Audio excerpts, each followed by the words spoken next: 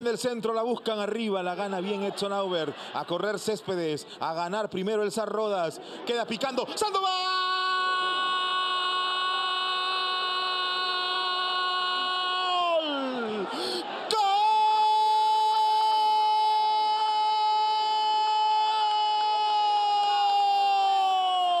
¡Gol!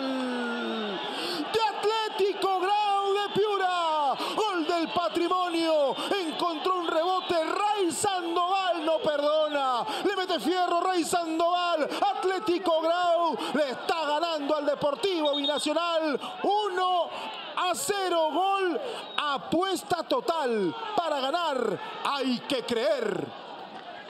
Y hay partidos que te piden esto, ¿no? Saberlo sufrir, saberlo aguantar, encontrar tu momento y cuando estás en el buen momento llevarlo al resultado. Bueno, Grau,